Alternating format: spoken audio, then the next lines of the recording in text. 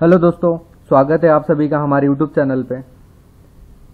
आज हम जो कमोडिटी ट्रेडर्स हैं, उनके लिए एक इंडिकेटर लेके आए हैं, जो नेचुरल गैस क्रूड ऑयल ये स्क्रिप्ट में सही से काम करेगा, आपको सही गाइडेंस देगा। और किस प्रकार से इसमें कॉल जनरेशन होता है, कौन से कॉल्स में आपको ट्रेड करना है, कौन सा टाइम फ्रेम आपको प्रेफर करना है नेचुरल गैस में ट्रेड करने के लिए, ये मैं आपको बताऊँगा। अभी मैंने नेचुरल गैस का फ्यूचर लगा के रखा है। 15 मिनट्स का टाइम फ्रेम आपको प्रेफर करना है इंट्राडे के बेस पे।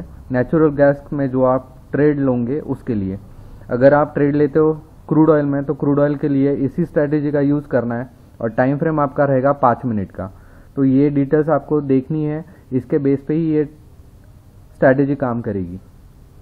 अब आप देख सकते हो, जब कोई कॉल बनता है तो आपको सेल कॉल रेड कलर के साथ मार्क होके मिलेगा।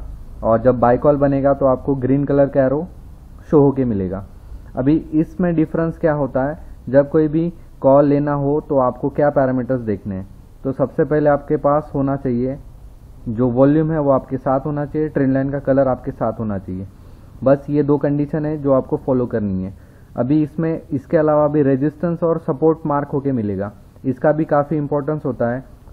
जैसे कि सेल कॉल आया तो आपको यहाँ पे सपोर्ट का ध्यान रखना है कि कहाँ पे सपोर्ट है। तो जहाँ तक सपोर्ट है, वहाँ तक के आसपास के जो टारगेट्स है वो आपको लेने हैं। ये सेल कॉल आया था 540 को, और इसका जो सपोर्ट था, वो अराउंड तो आप 536.8 का था।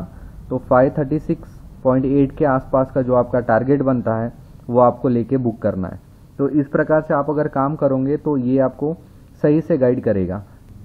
जैसे कि ये भी आप पहले का बाय कॉल देख सकते हो। यहाँ से भी ये आपको रेजिस्टेंस तक प्रॉफिट दे गया और उसके बाद इसने दोबारा सपोर्ट टच किया। तो इस प्रकार से ये आपको सपोर्ट रेजिस्टेंस के बीच में भी सही से ट्रेड कैसे एनालाइज करना है, ये स्ट्रैटेजी के बेस पे आप वो आसानी से निकाल सकते हो।